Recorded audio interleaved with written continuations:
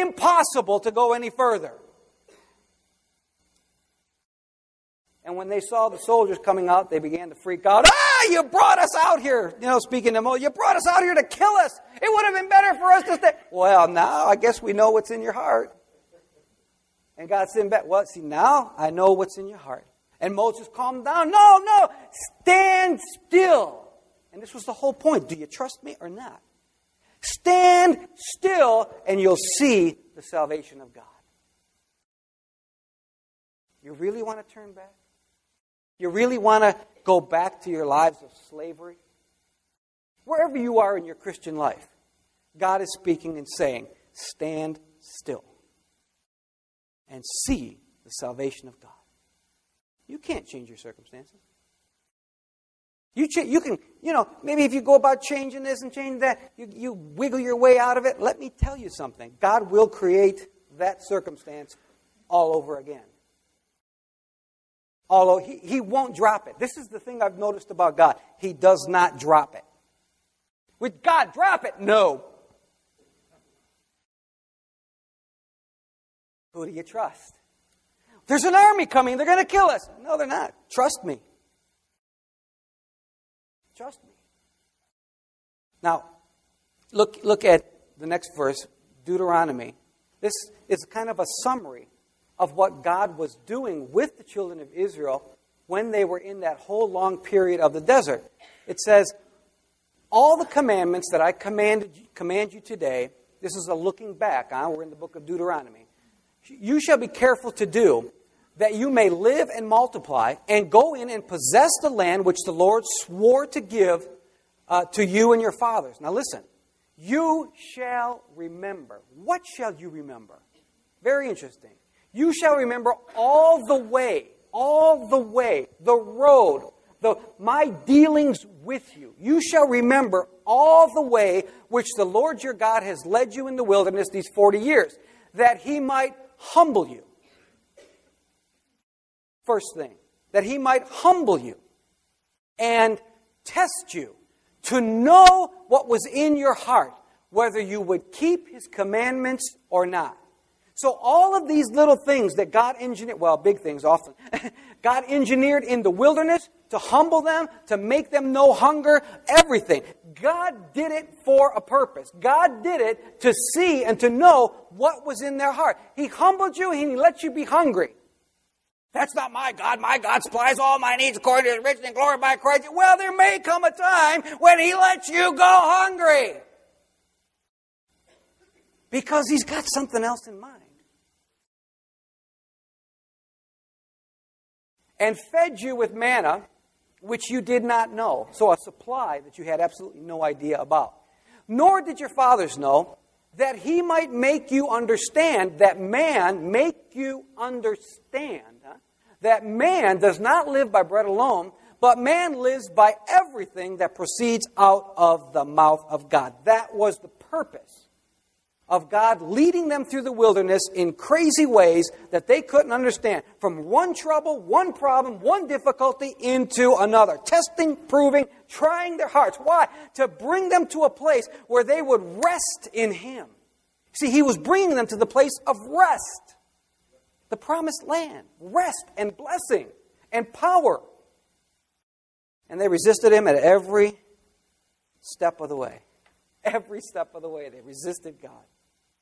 Now, I'm going to have to probably do this briefly, but I want to use the life of a man to show you how God will hem you in.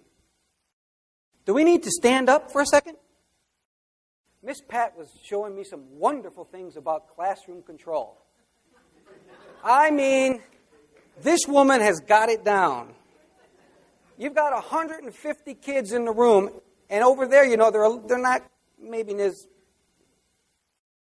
well trained, and they're getting up every couple minutes, and they're running right down, and they're running right in front of us, all just going out to the bathroom, buying their buying their little uh, what do you call it, popsicles and stuff, and then running back in, and and they're up and down and moving in and out, and all of a sudden, Miss Pat, one finger. No, no, no two fingers. How many fingers do I have up? Two fingers. Put your hand up.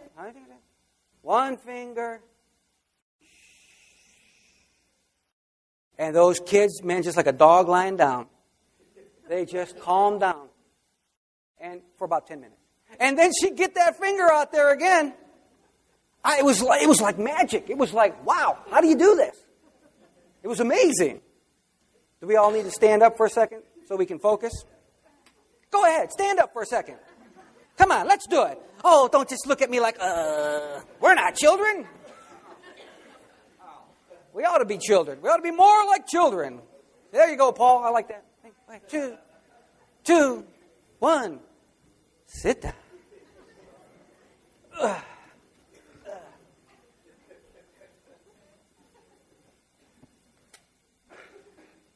Sometimes we must exercise patience for the message and with the messenger. yeah, whatever. The Super Bowl is until 6, so calm down. You can, you can gorge yourself, you know, later. Let us gorge ourselves on the word of the Lord now. We're going to look at a man who had some of the most incredible qualities in his life he was a man who knew God. He was a man who was, I would say, cold stone honest. He was a man who was absolutely decisive. When he decided on something, he carried it out.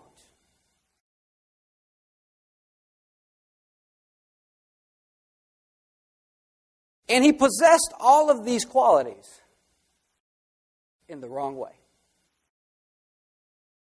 He knew God, knew His Word, knew His heart. He was decisive. He was honest with God. All in the wrong way. The name of this guy is Jonah. We're going to look at the life of Jonah in three different scenes because I just want you to see how God worked in his life to bring him to the place that he wanted. Now, there's the overriding idea of Jonah where God was working to deliver the Ninevites, and he was demonstrating by that, you know, that God is a God of all the nations and that he wants all the nations to know him.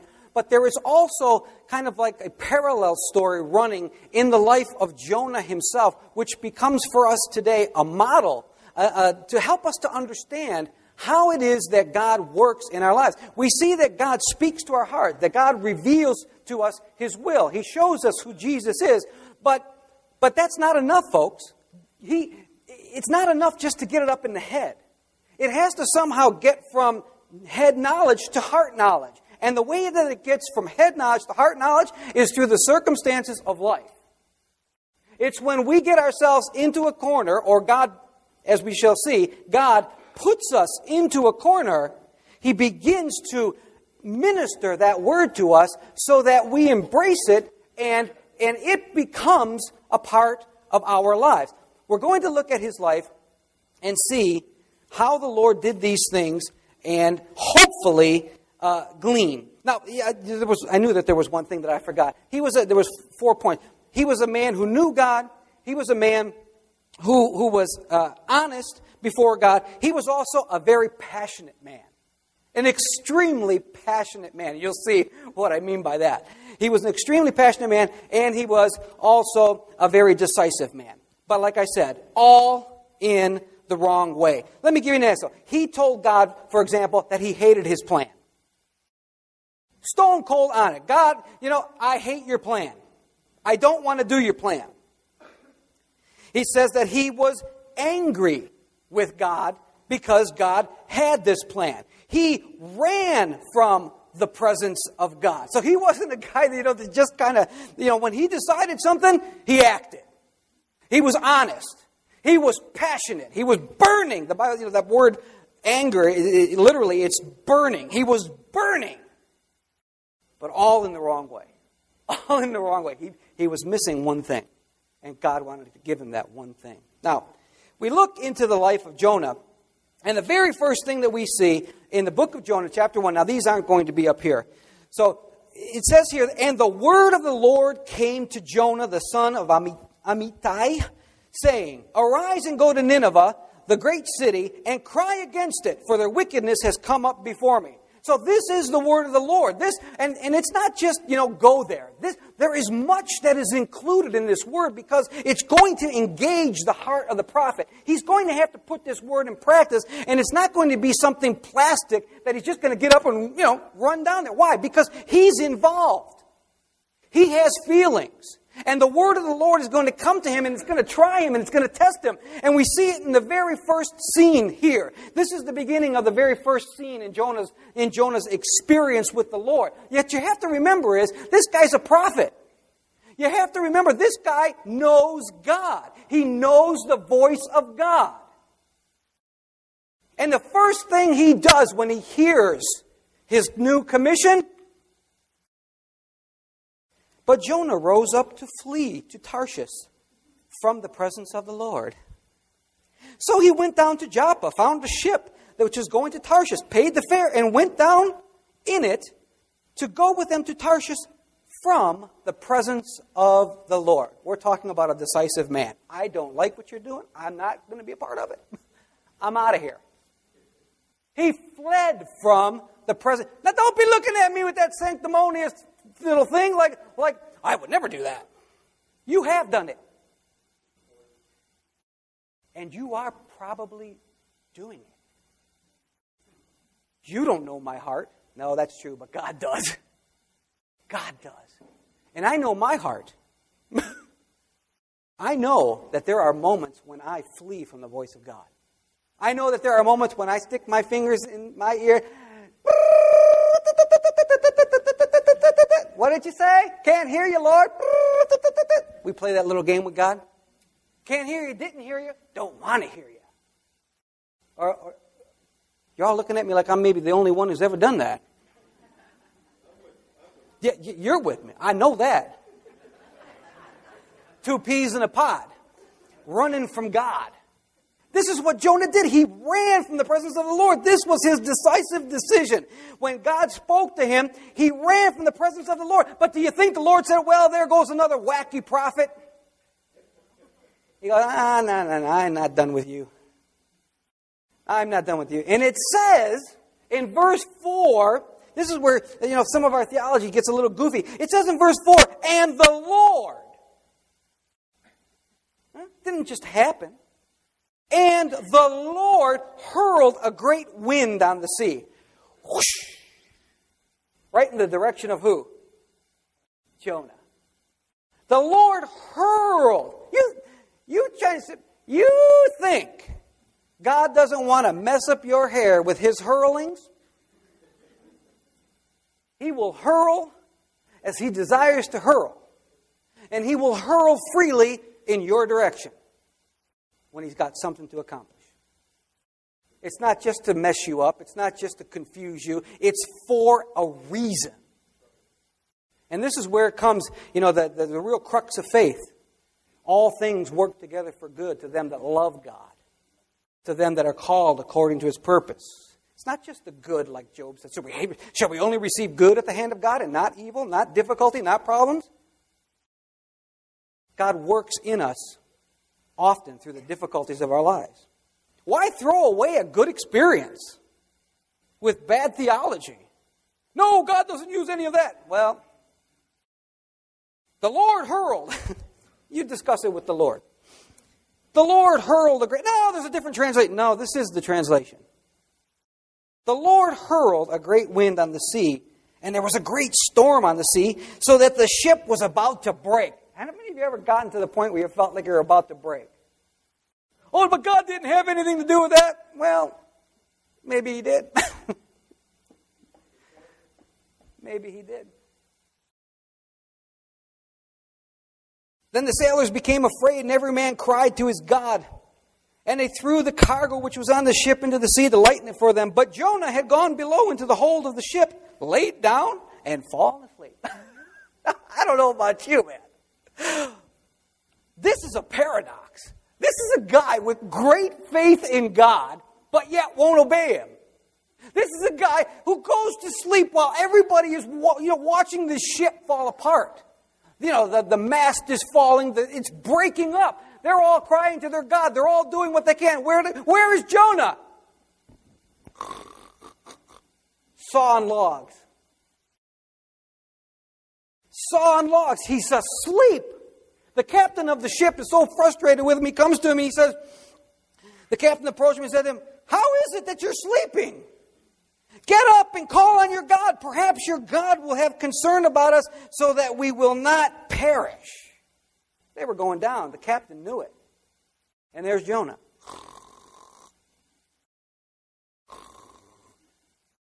And so they all get upset. These are all these are all people who had their little gods, you know. These are idol worshippers and so on and so forth. So they all begin to call on their God. Get up and call on your God. Maybe he'll hear you. Who are you anyway? Well, I'm an Israelite, and I fear the Lord God. As soon as he told them who he was, where he had come from, and what he had done, because the Bible says that, that just previous to that, he saw, you know, I'm, I'm fleeing from the presence of the Lord. He told them. It's not like it was an accident. He determinedly fled from the presence of the Lord, and he's boasting about it. This is a prophet. My daughter was telling me, prophets are nuts. I said, Thank you, dear. Prophets are crazy. Crazy like a fox. Crazy in the sense that they know God. And this guy knew God. He knew God. He knew Him better than we know Instead of repenting at that moment, what does Jonah do? Just throw me into the sea. He would have rather died than to change his opinion. He preferred death. Huh? He preferred death over repentance. This is one stubborn dude. And have you ever been there? Don't look at your neighbor. Get that mirror out. I prefer death. This guy was passionate. Just kill me. Throw me overboard, and the seas will get real calm. They didn't want to do it. No, we don't want to do it. And they tried, but they couldn't do it. The hand of the Lord was too strong. And Jonah says one thing. He says, I know. This is God. I know. Let me get it for you here. Where am I? Yeah, verse 12. And he said to them, Pick me up and throw me into the sea, then the sea will become calm for you. For I know that on my account, or on account of me, this great storm has come upon you. I know God's in it. He knew. He knew what God wanted. He knew God was coming, but, but what he said, just throw me into the sea. I'll take my chances. I prefer death over life. I prefer death over repentance. I do not want God to do what he wanted, sent me to do. But as we know, and they, they threw him over, the seas became calm. But God was not finished with him yet. He didn't let him die in the sea. What did he do? Another circumstance, another situation. It says God had already prepared a great ship, a great fish. And the fish came by right when Jonah got thrown into the sea and now some people want to look at that as though it's just crazy fairy tales. Well, I believe it's absolutely true. The Lord Jesus Christ believed it was absolutely true that a fish, large fish, swallowed a man. Now that's an amazing thing. Any of you ever been inside a fish? It's very funny, actually, the way he talks about it. He says here, uh, well, that, that comes a little bit later. But from that particular place, when God has gotten him now into the second place, three days and three nights, into the belly of the whale, it says, from the belly of the whale, he cries out from the belly of the whale, he realizes it's about over. I can feel the acids. I am starting to, you know, be digested. There's no other way to say it. He was being digested. And he cried out to God. And he cried out for mercy. And he cried out for God to be kind. And as soon as he cried out, the Lord, it says that the Lord heard him and delivered him from that great place. and he came out from the fish, and he just, he, he's very graphic. He says, and there was seaweed wrapped around my head. Can you imagine? Seaweed wrapped around the guy's head, middle of a fish, praying, oh God, have mercy. I mean, you got to get this in your mind. I mean, this is, it's funny, but it's sad. Here is this great prophet who knows God, who's running from God with all of his heart. God finally stops him. He's not done with him yet. He regurgitates him out onto land. And as soon as he regurgitates him out onto land, that's the end of scene one, what happens? God speaks to him again. He didn't change his message. Note that. He did not change the message. He said, Now that I've delivered you, go to Nineveh. Go to Nineveh. Go and preach to that, that, that nation. In verse, verse, chapter 3, verse 1. Now the word of the Lord came to Jonah the second time, saying, Arise, go to Nineveh, the great city, and proclaim to it the proclamation which I am telling you. This time, it says, Jonah arose and went to Nineveh according to the word of the Lord. Now, Nineveh was an exceeding great city, three days' walk. And it says, Jonah began to go through the city one day's walk, and he cried out and he said, Yet 40 days and Nineveh will be overthrown. God is going to judge you if you don't repent. And what we know is that the city did repent. The people repented. So we see God taking Jonah from running from the call, running from God, running from the presence of the Lord, to obeying Him. Now, for the most of us, that would be enough. But it wasn't enough for God. Because look at Jonah's response to what God had done. It says in chapter 4, verse 1 after God had delivered them, after God had seen their repentance and, and repented himself of judging them, it says, But it greatly displeased Jonah, and he became angry. how many of you get angry when God gives you success? Jonah did. God delivered them, God had mercy on them, God loved them, and Jonah was extremely displeased and he became angry. How angry did he get, I wonder? And he prayed to the Lord and said, Please, Lord, was not this what I said while I was still in my own country? Therefore, in order to forestall this, in other words, to stop you from, from having mercy upon them, um, I said while I was still in my own country, Therefore, to install, oh, I'm sorry, therefore, in order to forestall this, I fled to Tarshish, for I knew, huh? I knew that thou art a gracious and compassionate God, slow to anger and abundant in loving kindness, and one who relents concerning calamity. I knew you were going to forgive him. I knew it because he knew him.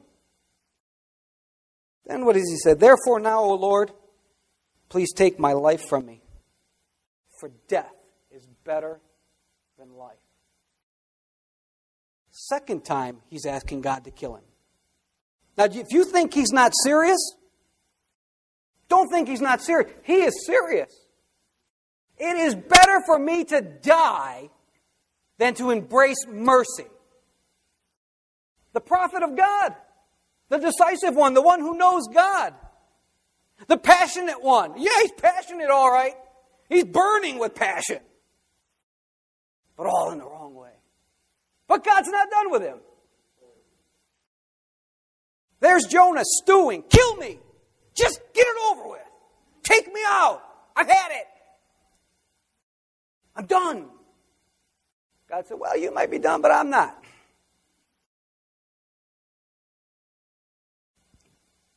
Again, the Lord speaks to him and he says, second time, second word, Do you have a good reason to be angry?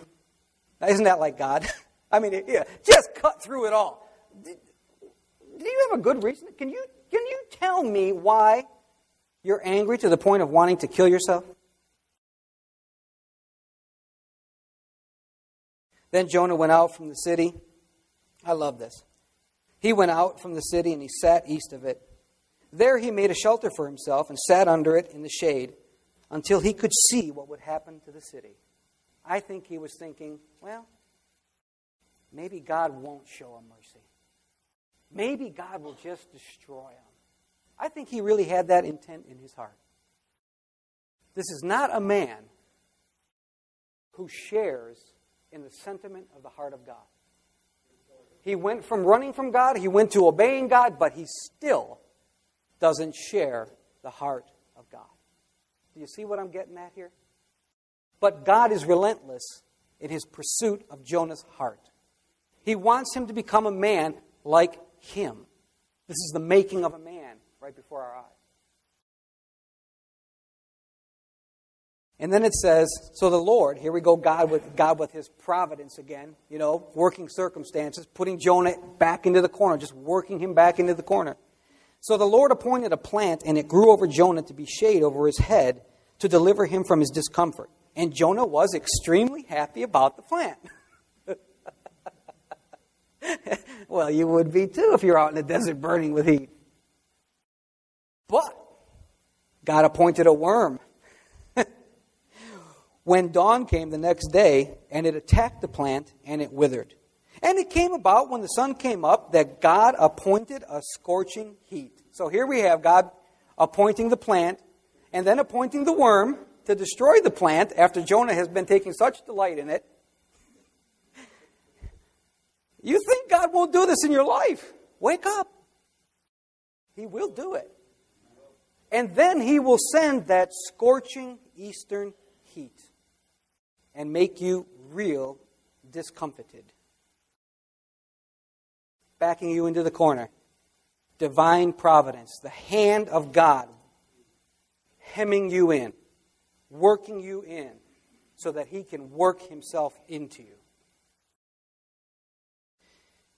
Sun came up to each, and it beat down on Jonah's head so that he became faint, and he begged. Listen to this, third time he begged with all his soul to die, saying, Death is better to me than life.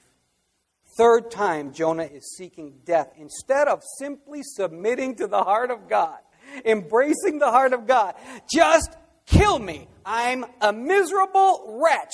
I'm not going to do what you want me to do. I'm not going to embrace your mercy and your love. Just kill me. Passion that's passion. Misguided, but it's passion. It's honesty, stone cold honesty before God. Now, God has the last word. Then God said to Jonah, Do you have a good reason to be angry about the plant? You're mad about the plant. You're mad that I killed, you're mad that I saved the people. Now you're mad about this plant that I killed. Hmm. Do you have a good reason? Again, with that question. Do you have a good reason to be angry about the plant? And he said, I have a good reason to be angry, even unto death. He's talking to God, people. He's talking to the one who holds his life in his hand. You understand what I'm saying? I have reason good enough to want to die. So bring it on. This guy was serious. Stone cold serious. He wanted to die. Four times he tried to make it happen. And God just, you know, I love you, Jonah. You're a wild man, but I love you. I want to give you my heart. I want you to know how I feel on the inside. I have good reason to be angry even unto death. And the Lord said, You had compassion on the plant for which you did not work and which you did not cause to grow which came up overnight and perished overnight. One day the thing was there. And this is the question, and this is where God wanted to bring him. And should I not have compassion on Nineveh? The great city in which there are more than 120,000 persons who do not know the difference between their right hand and their left. Shouldn't I have compassion on 120,000 people who don't know their right from their left? And Jonah, if that's not enough to touch your heart, don't forget about all the animals. That's hilarious. And many animals. Why does God add them and many animals? The people, 120,000 people are going to die. And the animals. Because it seems as though he had more, kind of like the folks today, you know, more compassion for a tree and an animal than for human beings. That was a pretty good one, wasn't it? I never thought about that before. Here's Jonah, the nature man. What do they call those folks? Tree hug. Well, the tree huggers.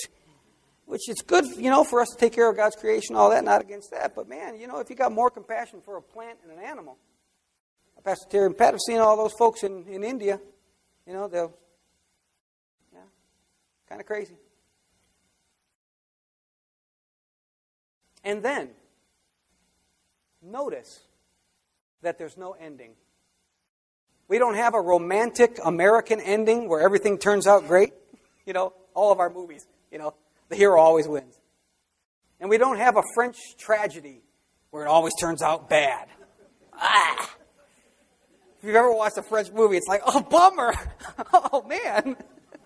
You know, we want realism.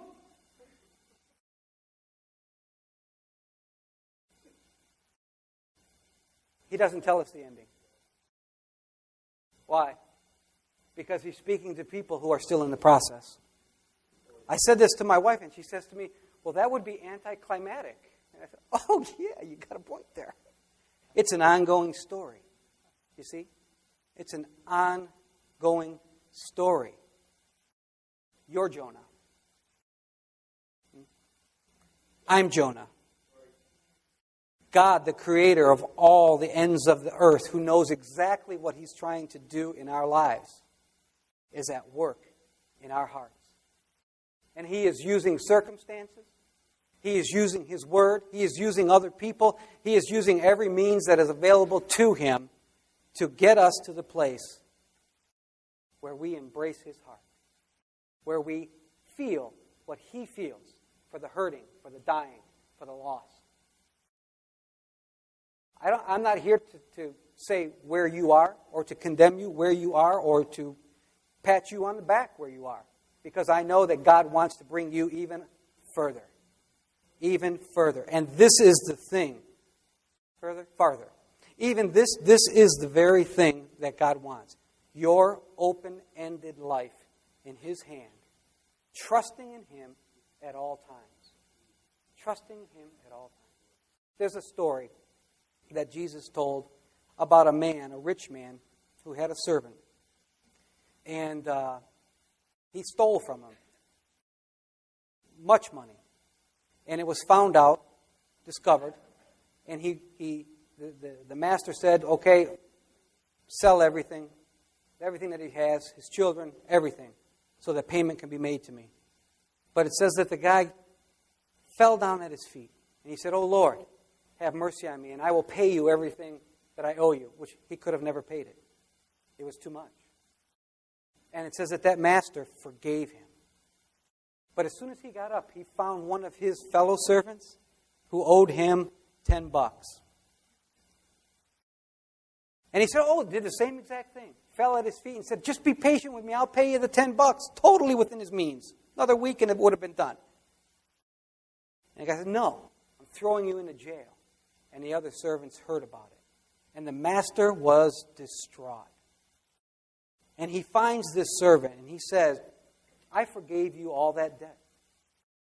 And yet, when it came to be your turn to forgive, you couldn't do it. You didn't know my heart. You didn't know how to forgive after I had forgiven you everything. We're like that.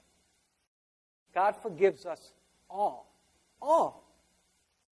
And yet we want to hold on to some of the most minute, foolish, and silly little piddly details of life. Why is that?